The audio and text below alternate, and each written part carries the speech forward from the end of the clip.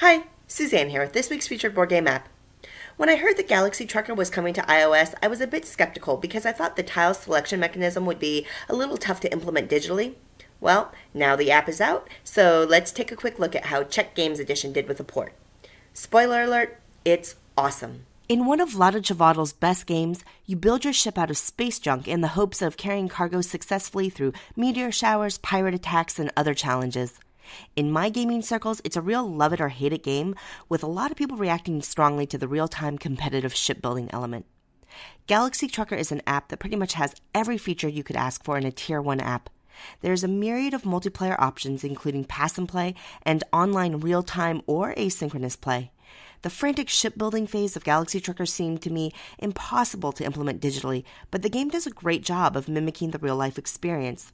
The use of action points that enables async play is quite clever, but the app doesn't stop there. There is also a full solo play campaign mode that has some tough challenges and a delightfully engaging script, making it feel like an adventure game. The rules are implemented exceptionally well, and the tutorial walks you through everything. But if you're new to Galaxy Trucker, it'll still probably take you a few plays to figure out the basics of this unique game. But stick with it because the experience is worth the effort.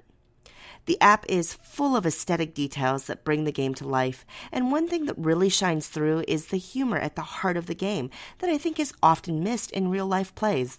This app is just fun to play. Galaxy Trucker's thoughtfulness, polish, and attention to detail places it as a frontrunner for Board Game App of the Year.